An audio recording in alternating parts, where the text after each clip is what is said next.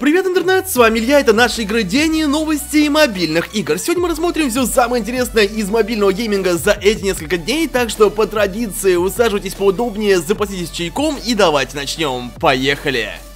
Ну и вначале я хочу рассказать о смартфоне, с помощью которого я и снимаю все свои обзоры. Это смартфон Red Magic 5S от ZTE. И сразу скажу, это ультимативное, отличное решение для мобильного геймера. Смартфон обладает шикарным экраном в 144 Гц, а также встроенными сенсорными триггерами. На самом деле, все это в совокупности делает смартфон мега классным для гейминга, и это просто самим нужно попробовать. Тут имеется 5G, так что со связью проблем не будет, и играть можно где угодно. По процессору тоже, конечно же, все на высоте, идет мощнейший Snapdragon 865 плюс графический процессор Adreno 650 GPU. При этом даже в тяжелых играх смартфон не греется, ведь здесь идет система жидкостного охлаждения с турбонаддувом. Я до этого такого просто не встречал. Тут реально встроен кулер, который отлично справляется со своей задачей. Тут скорость вращения до 15 тысяч оборотов в минуту и идет увеличение объема прокачиваемого воздуха до 30%. Так что в плане охлаждения все на высшем уровне. На самом деле и по звуку тоже все отлично, тут двойные стереодинамики, которые обеспечивают шикарное звучание просто в любой игре. Короче, это реально ультра классное решение для геймеров с красивым таким дизайном, так что обязательно рекомендую посмотреть и ссылку оставил в описании.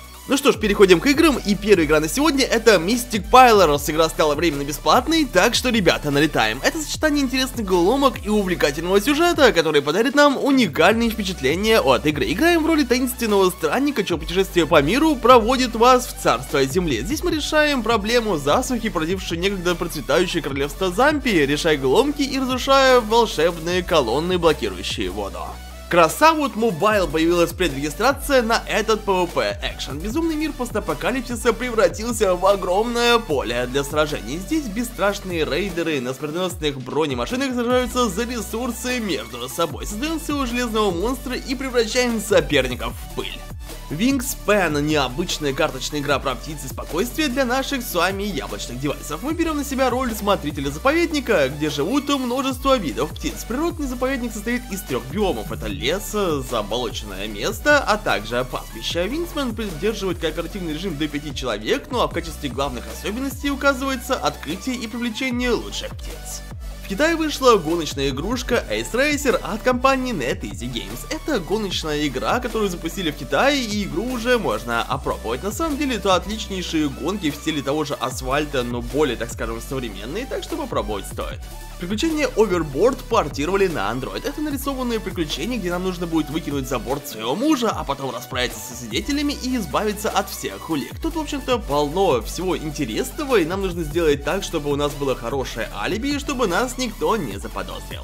В Азии стартовало закрытое бета-тестирование игрушки The Lost Memories по мотивам вселенной Ragnarok. Это мобильный RPG по франшизе Ragnarok, и игрушка выглядит на уровне той же Nintendo 3DS. В общем-то, игра отличная, так что любителям жанра должно быть интересно. Диалоги тут не озвучены, как сцены сделаны на движке игры, но а битвы такие вот полуавтоматические. Вышел патч 2.0 для игрушки Genshin Impact. В самой Genshin завезли патч, который добавил в игру Архипелаг и Надзому. Стилистика здесь японская, но а квест связан с путешествиями между островами. Для участия в новых ивентах и квестах требуется уровень выше 30 а также выполнение заданий мира. Помимо этого в игре появился новый персонаж, это пятизвездочная Камисата Аяка.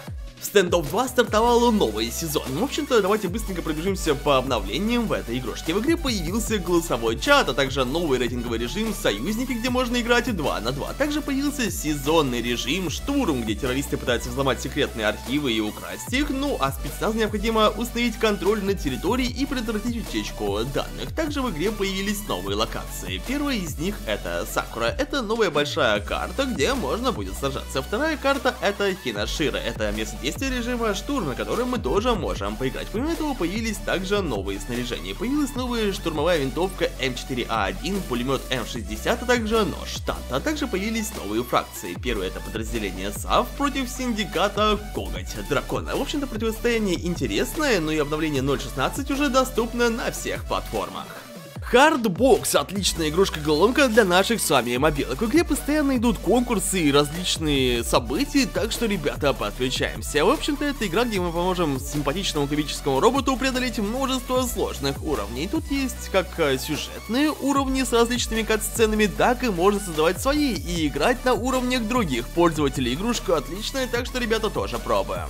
Так, ну и последнее на сегодня это рекомендация мобильного сампа. Я советую сервер Mordor Roleplay, на котором сам активно играю. Подключайся к нам, ссылочка будет в описании, выполняй различные квесты, стань самым богатым и влиятельным на сервере и просто порази этот виртуальный мир. Короче, давайте присоединяйтесь. Ну что ж, ребята, на наш выпуск на сегодня подходит к концу, и как обычно жду от вас лайки, комментарии, а также подписывайтесь на канал, чтобы быть в теме всех мобильных игрушек. Ну а так, у микрофона был как всегда Илья, и скоро мы вновь увидимся. До встречи. Пока.